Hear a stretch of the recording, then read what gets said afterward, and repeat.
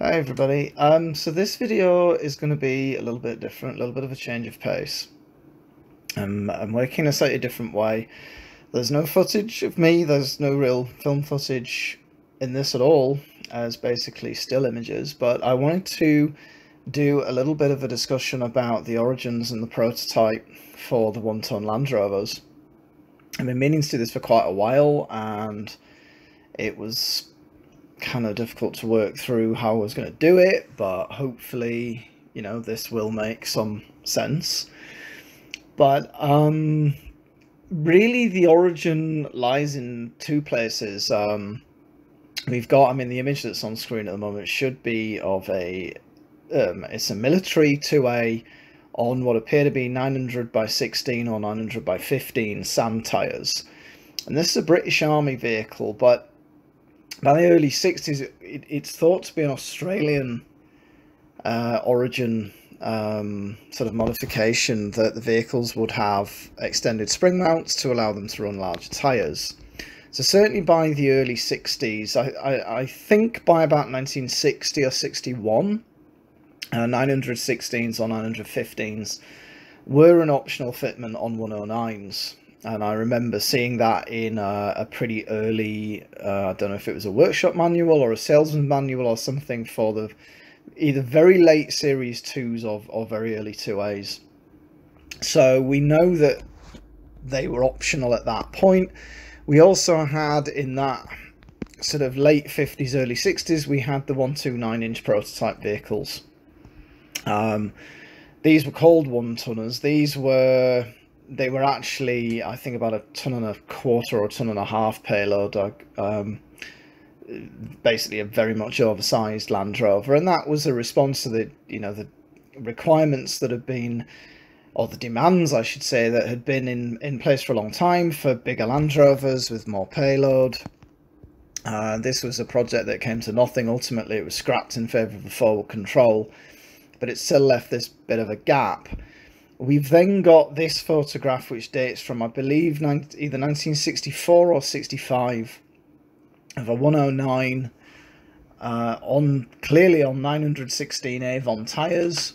Um, appears to be broadly civilian specification, although it does look, look to have a, a military type rear crossmember. Um, it's left-hand drive could it be that a foreign armed force wanted uh, vehicles with a bigger payload? Maybe it was a one-ton payload. So certainly, the the documentation that is around with this photograph would suggest the idea was floating about at that time. So we're looking at mid 60s, 64, 65, uh, that that it was first floated. Um, we've then got this vehicle, which could well be the same vehicle. I'm not sure. I think there were two of these, one of which is now in America. And these were, again, they, they were early Spec 2As, pre 67, um, loosely military spec. Um, this one has a hydraulic winch. This one, I believe, is the one that ended up in America. And these were, again, somewhat uprated. They had 916 tyres on there, but still four-cylinder petrol engines. Uh, so we're not quite a one-ton. But as time went on, we did get to this vehicle, which is a six-cylinder 109 military spec on 916s with ENV axles. And this photograph, absolutely amazing photograph, is this vehicle after it was disposed of by Land Rover in use as a breakdown truck. And at the time, the, the people they didn't really know what it was, but it, it was essentially um, two one-ton spec. It's six-cylinder. It's got the ENV axles. It's got the 916s on the deep dish rims. It's got the low gearing. So, although this was a prototype and it was used um, towing a powered trailer, that this was the first vehicle that sort of really was really a one ton in specification. The only real difference from production, of course, was the front end. Uh, the front uh, the the front end on production vehicles was all uh, lamps and wings. We then got this vehicle, um, quite famous YXE320F, um, which is a brochure vehicle. is actually a standard three-quarter ton six-cylinder 109. And in the close-ups here, you can see that they've put wooden blocks in the suspension to give the clearance for the tyres. So not a one ton. I've seen a couple of vehicles floating about over the years claiming to be this vehicle. Um, I, I don't believe they are. I mean, this one, as, as we can see from the exhaust routing, it's definitely a six-cylinder. Uh, again, um, I'm pretty sure it's got the rear um, petrol tank as well. It certainly hasn't got it behind the cab door. Uh, so, and the the chassis number is a standard 345 prefix um, right-hand drive 1096 cylinder utility. So, although used for the brochure photographs, it doesn't really um, lead anywhere. It was just a sort of photographic mule, and literally they just put the wheels and tires on uh, to get the to get the brochure ready for when the vehicle was launched. Then I have another vehicle. Now this is Lulabelle, a very interesting vehicle, built 1964. It was thought to have prototyped the six-cylinder installation in Land Rovers. It was built as a two and a quarter petrol. Uh, ended up at some point with a six-cylinder in it, so we believe. Uh, ended up with a V8 and a Range Rover gearbox, and accompanied two. Now I can't remember if they're prototype or very early production Range Rovers. I think they're prototypes across the Sahara in 1969 and it was also used as a testbed for the V8 engine and gearbox. Um, and um, it was called a one ton again, but technically wasn't. It, it uh, the photos would seem to say that it had rover axles. It was on 900s.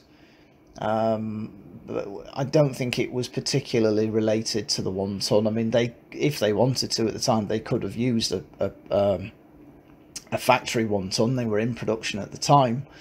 Um, they didn't. But Lulabelle, nevertheless, is a very, very interesting vehicle and um, one I'm, I'm very interested in researching and uh, discovering more about. I'd love to know what happened to it. As far as I know, it was last on the road, I think about nine, uh, early 90s, something like that. Be interesting to see if it's still out there. We've then got this is production number one so i just wanted to cover this very briefly um, quite a few photographs of this exist um, it appears as though it was used to showcase different bodyworks that were fitted to um, Land Rovers at the time. So we've got it here with a stake side body, a small Hiab crane mounted behind the cab, a Dixon Bate fifth wheel conversion, uh, and a, a, hole boring unit um, on the back there. Now these only with the Hiab as it got the number plate JXC165H which was that vehicle's registration. That's in the factory registration books at Gaydon. Um, the others, it would appear to be the same vehicle. It's deep bronze green. It's clearly on 916s. It does swap. Some of the photos it has Dunlop tyres, others it has Avons. Not quite sure what was going on there, whether it was just to showcase or test out the different tyres.